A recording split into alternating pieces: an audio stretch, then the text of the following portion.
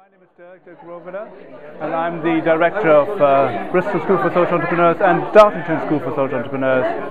And uh, this has been an amazing event, our first in Bristol. This is our first year here in Bristol, and to see these 17 students who develop amazingly over one year from their very early interview with us, where they just caught us the germ of their idea, to seeing these projects really flourishing. It's been very humbling and very inspiring. And you were asking where we want to go next with our project. And what I'm, I'm, working on now is how can we support these social entrepreneurs once they've left the program. So we're putting in place some business support that's very flexible, that can help these social enterprises get the support they need to get them over this very difficult first hurdle of the first six months, the first 12 months. I'm also involved with the Bristol and Bath Social Enterprise Network, where we're putting together strong networks for the schools. And I'm working on a social incubator project where we will take some scalable social enterprises that are ready to grow and take them through a program of learning, mentoring, and investment to really scale up. Because what I want to see is that social enterprise becomes not the niche but the mainstream of business because I think that's where social enterprise is heading. This is going to be business of the future, this is going to be the way it's done.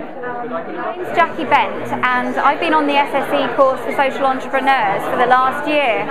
And my idea is to create an interactive community map that pinpoints every single um, charity, non-profit and community project across the UK meaning that people can find the help they need when they need it, they can find places to go and volunteer when they've got free time. And that they can also, projects existing already can connect and share meaning that they share tools, resources, strategies so that they save their running costs and they actually become more effective. And lastly, what it will do is it will help to encourage local businesses to support local projects. And another way that we can do that is through introducing the Community Pledge. And the Community Pledge is for small to medium enterprises to actually sign up to, to state that they want to make a difference within their community. The Community Pledge will be an annual membership fee and it will be a badge of honour, a bit like the fair trade symbol. So helping businesses to stand out from the crowd, helping them to raise awareness of what they're doing within their community, the business they are, helping them to gain new customers, loyal customers that stay with them. So altogether, everything we do is about empowering individuals and strengthening communities. And the course with the SSE has been absolutely incredible. It's been crucial to making connections and helping us to build a strong platform and business plan that means that it's self-sustainable. Hi, I'm Daniel Oliver. I'm Network Director for Bristol and Bath Social Enterprise Network, but also um, I'm a social entrepreneur in my own right. So I like to have ideas and set new things up, just like some of the people this evening. I work in partnership with SSE to enable Bristol and Bath Social Enterprise Network, but also to work with not just Bristol, but also the West of England region to look at the real clear things we can do to move social enterprise forward and work in partnership with lots of different sectors to make that happen. So it's about really delivering real things, about making sure that we can have a shot at some of the big national opportunities which will bring in investment or funding and co-benefits will make people's lives and jobs and work easier on the ground, um, but also to deliver new projects. So to look at what we can do to support social enterprises to connect with new opportunities and particularly new kinds of themes. So if we look at social enterprise as a concept, it's a bit abstract, um, but what social enterprise does is really, really exciting. So it's able to deliver things in a way which no other kind of sector can. Both public sector and private sector really struggle with, but also it's able to engage communities. And that may be anything from renewable energy, which involves communities and creates jobs and the opportunities for people, to producing local food, to creating new employment and jobs in communities which otherwise would be overlooked by some of the mainstream approaches um, or an increasingly contracting um, public sector budgets, which you know we need to be clever about how we do new things in our communities. And I think it's far more interesting. The question is like how we create our own opportunity for ourselves and see the change that we want to be in the world rather than asking for handouts or hoping that grants will come to do new things. My name is Nora Abi, and um, I, my, the name of my organisation is called Autism Independence, and it supports parents and people who have been affected by autism, whether it's children or adults from ethnic minorities. It happens that my oldest son has autism and was diagnosed at the age of two and a half. And so because of my story with Zaki and how he progressed and the success with him, I am here today helping other parents who I mirror my journey through them. The plan for the future is to continue supporting parents from these parents who got children with autism and people that adults that have been affected by autism. And um, I like to further my knowledge on this area on autism. Um, hopefully, study and research more about autism. So yeah, there it is. The me. That's what I do. Well, I come from the world of social entrepreneurship and believe very strongly in that making a better city, contributing to a better city. So I thought tonight had a wonderful selection of young people with brilliant ideas put into practice that will make a better place. And uh, that's what social entrepreneurship is about. And uh, Bristol is fortunate in being only one of two cities in the UK that's a social enterprise city, but we've got to do a lot more of this stuff in order to justify that title. And uh, I think the Social Enterprise School is exactly the right thing for Bristol. And so I'm very grateful to what's happening here. Hi, I'm Jonathan May. I run SponsorCraft, which is a crowdfunding platform for educational institutions.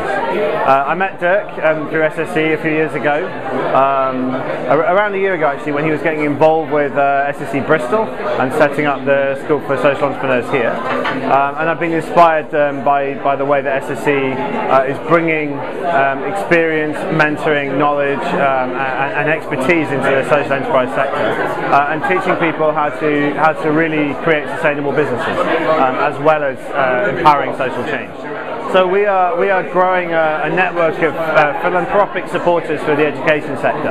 Um, we're temporarily based in London as part of the uh, Wayra program. We're also members of Unlimited, um, and we're planning on bringing back a, a much increased uh, capacity to support um, education sector projects uh, to Bristol um, in January I mean, when we return to, uh, to, to, Bristol. Um, so hopefully we'll be able to get behind education funding, uh, education fundraising, and also get behind the social uh, enterprise community that's developing in Bristol. I mean, Bristol and Plymouth are now the UK's top two social enterprise cities, and we're very proud to have originated here. I want to come back. Hi, I'm Daniel Balla. I'm the founder and co-director of Co-Resist. And yeah, I have to say that working through the course at the SSE has been amazing. It's been um, a really amazing container to explore the ideas that I had for the organisation and to trial different ideas, especially ideas around hierarchy and trying to break down hierarchy and working in a non-hierarchical structure and coming full circle into realizing that there are ways of conducting business where you can have forums where people can say what they want to say in a, in a non-threatening and communicative environment and act on those ideas and act on those decisions and everyone's empowered to, to work in their own, on their own fields and in their own way. And that can be done in a non-hierarchical way, but it has to be done in a way where everyone is their own leader. And that was a really interesting journey, kind of finding out more about that and the ideas of holacracy and, and doing that through the SSE. And the support here has been amazing, like the facilitators have been great, the organisation has been uh, really supportive. And I think over the next couple of years, what we hope to do is do uh, a few more productions, which are going to really kind of like build our reputation and wow our audience and start kind of working on some projects which, yeah, which bring about real change in our community. Uh, we've got some lined up with Bristol Pound and Eradicating Ecocide, and we'll see what happens. I'm Rosie Love, I'm Programme Manager for the School for Social Entrepreneurs here in Bristol. And today we've just witnessed an incredibly inspirational uh, set of entrepreneurs that are graduating uh, from the programme with their wide range of socially and environmentally responsible projects and businesses. I'm exceedingly proud. I've been completely wowed by their achievements over the last year. So these guys have shown absolute inspiration, courage and resilience and I'm proud of every single one of them. We're just starting with our second cohort here in Bristol. This year we've got 21, uh, a few more than, than last year, and uh, the group is more diverse. We've got a 22 year old through to a 71 year old and we've got uh, a much stronger gender balance and a really uh, diverse range of backgrounds. So I'm really excited about this new cohort. A lot of them are here tonight for the graduation. I think they've been totally inspired by what they've seen and a little bit scared, but, uh, but I think they're ready to go and I'm really looking forward to the next year.